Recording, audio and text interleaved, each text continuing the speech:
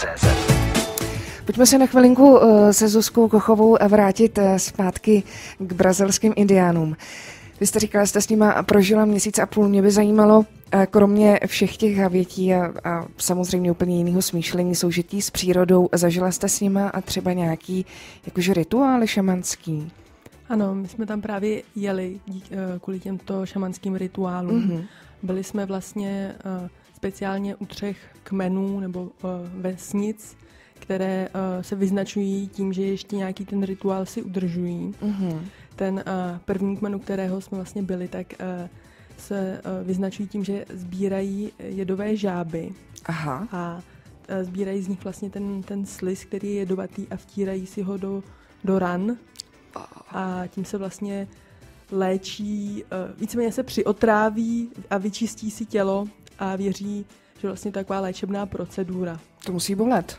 Uh, ono to vyloženě nebolí, ty, ty rány nejsou hluboké, ale uh, já jsem teda neměla možnost vyzkoušet si ten rituál na vlastní kůži, ale... To, to tělo se... musí zažít šok asi. Pro tělo to čo, šok a těm lidem je neuvěřitelně špatně. Wow.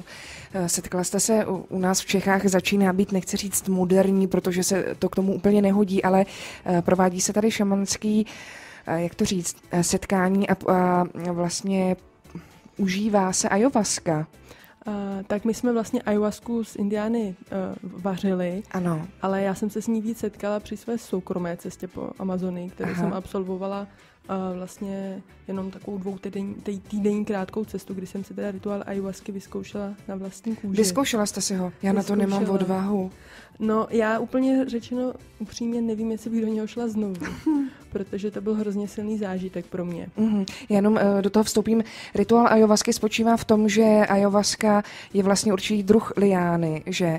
A vy požijete vlastně nápoj, je to taková přírodní droga, dostanete se úplně do jiných sfér a vlastně tím, že eh, pod, nevím jak to říct, pod vlivem téhle drogy v úvozovkách se vám čistí tělo, tak uh, vy máte šílené halucinace, které trvají několik hodin. Ano, a oni vlastně indiáni to využívají i k jiným účelům. Uh, šamani vlastně věří, že to slouží především k tomu, aby se spojili se svými předky uh-huh, a s od, přírodou. A od nich vlastně se naučili nové, něčemu novému, co jim uh-huh. ještě nestihli předat a také tím, uh, aby zobrazili si vlastně lidskou, oni tím léčí pomocí ayahuasky. Uh-huh. Když požijí ayahuasku, tak věří, že se jim zobrazí lidská duše uh-huh. a ukáže se jim, kde je ta prapříčina toho problému. Uh-huh. Takže oni vlastně se snaží pak tu příčinu léčit a v tom říkají, že je, ta hlavní, že je ten hlavní rozdíl mezi naší medicínou. My léčíme následky. A oni příčinu. Oni příčinu. Odhalilo vám to něco? Um, Kromě toho, že jste teda asi zvracela hodně. uh, já úplně nevím, co mi to odhalilo. Já myslím, že mi to odhalilo to, že nejsem úplně na tohle ještě stavěna. Ano, já taky ne, já to úplně chápu. Díky Zuzko, my se eh, vrátíme ještě za chvilinku. Uh, přesuneme se zpátky k festivalu Kino Brazil. Teď si každopádně všichni společně dejme Nelly Furtado a pecku I am like a bird.